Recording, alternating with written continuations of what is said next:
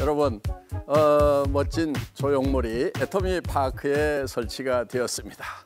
제목은 바람이 불어도 가야 한다입니다.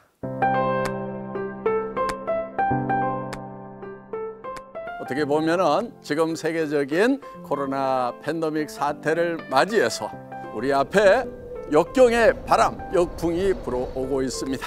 그렇지만은 우리는 어, 성공을 향해서 끊임없이 나아가야 되는 바람이 불어도 가야만 하는 우리의 상황을 잘 설명해 주는 그런 작품인 것 같아서 이곳에 가져왔습니다. 어, 이 작품의 모습을 보면은 이 발과 어, 손이 조금 어, 어떻게 기형적으로 좀 이렇게 확대가 되어 있죠.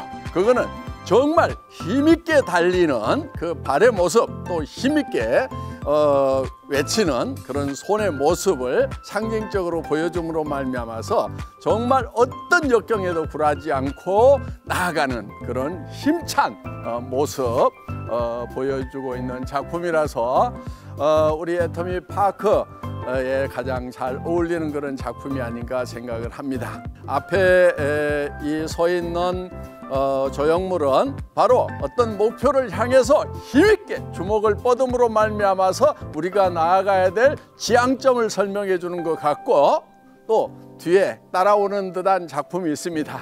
그거는 이제 오케이 앞장서서 간다고 그러면 우리도 열심히 따라가겠다. 야! 이런 어, 모습을 어, 보여주고 있는 것 같습니다. 자, 여러분들이 이제 어, 애터미 파크에 오신다 그러면은 이 조형물이 어, 웅변하고 있는 그런 내용들 다시 한번 상기하시면서 이 앞에서 사진도 찍고 이렇게 하시면 좋을 것 같습니다. 네, 여러분 바람이 불어도 가야만 한다. 야!